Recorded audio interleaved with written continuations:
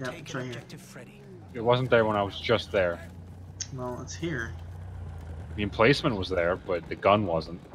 You're just silly, that's all.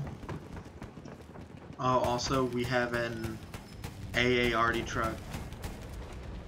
What the heck?